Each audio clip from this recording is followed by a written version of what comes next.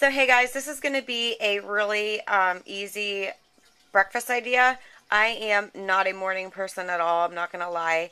I am up all night and in the mornings I just it takes me a while to get moving, um, which isn't bad until the kids are in school. And instead of feeding them cereal or Pop Tarts or things like that every morning, I decided to start doing some recipes in my crock pot, and this one is amazing. It's fast, it's easy, you can throw it in at night, and when you're running late, like us in the morning, you can have like a home cooked meal um, without having to worry about anything. So, this is going to be um, French toast in the crock pot, and you're going to want to spray your um, crock pot inside with nonstick spray because this will stick. So I'm going to do that. I'll get the ingredients and I'll show you how to do it. It's really easy. I apologize for the views on this video. Um, my tripod is actually over at the new house and I'm at the old house. So um, just kind of bear with me. Uh, you're going to need about a, I don't know, I put a lot in there I guess. But it calls for, I think, a tablespoon of cinnamon. Um, I just have my cinnamon and sugar mixed together. So um, just a little pinch of that, just really to taste whatever you guys would normally use for French toast. You're going to need some um, vanilla. This is pure vanilla, um, so you don't have to use as much, but if you're using um, artificial vanilla, then you might need a, a little bit more. You're going to need um, six eggs and two cups of milk and a lot of bread. So I will mix all that up in here and then I'll show you what we do next. Okay, so I have my cinnamon, my eggs, and my vanilla and my milk in here. I will list all the measurements and everything in the information box because sometimes I fail to measure. Um, and now you just want to whisk that really good. And then I'll whisk it and it's really easy. It's almost done. Okay, I whisked mine up and that's what mine looks like. I greased my crock pot pan and we need some bread. You can use any kind of bread really that you want. Um, I'm just using the Sara Lee with no high fructose corn syrup. Um, and then uh, we're going to take some of that. We're going to put it in here. Make sure you grease this. It's very important. It will stick.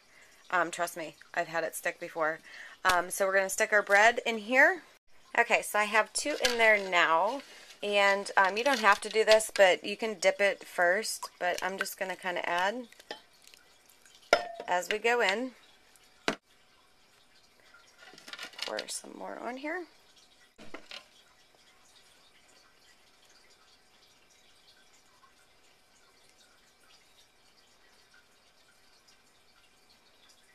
There's no really way you should stack this. You about a half a loaf of bread. Um, this you can definitely pack it in there as much as you can. You can normally use like a full loaf of bread, um, but I'm not going to because there's no way we eat it.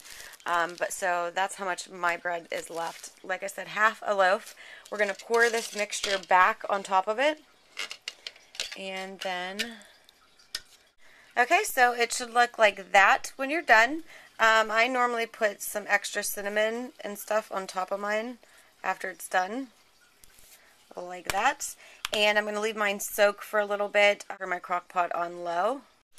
Okay, and then after I leave it sit for, I mean, a half hour or an hour, whatever really you want to, I will turn my crock pot on low, and this takes about four hours um, to cook. And if you're in a hurry, I mean, you can cook it on high for two hours if you want to have it, you know, for supper or something easy. You can do that. Um, but I'm going to cook mine slow, and then when it comes out, it is really amazing. And trust me, the smell so good. So I'm going to put the lid on mine and I'm going to leave it sit for a little bit. I will turn it on low and let it cook for about four hours and then by the time we get up we will have French toast and no worries in the morning and this is just really fast, really easy and really good.